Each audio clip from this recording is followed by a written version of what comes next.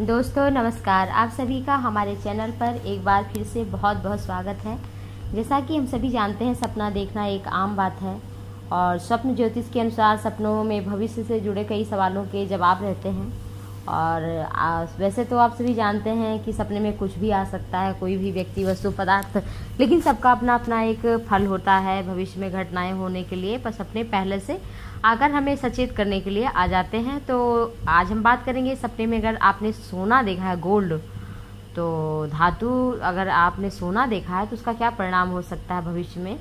तो अगर सोना केवल देखा है आपने तो बीमारी बढ़ सकती है धन हानि हो सकती है, और अगर सपने में सोना मिल रहा है तो धन वृद्धि होगी, और दूसरे को अगर दे रहे हैं तो अपनी मूर्खता से दूसरों को लाभ पहुँचा सकते हैं आप किसी लालच में आकर पैसा दे सकते हैं। इन सब चीज़ों से आप बने बचें और अगर सोना आप लुटा रहे हैं फेंक रहे हैं किसी को आ, इसी तरह से बिना कुछ पूछे आप उसके ऊपर खर्च कर दे रहे हैं बेच दे रहे हैं तो आपके जीवन में परेशानियाँ आ सकती हैं और अपमान सहन करना पड़ सकता है।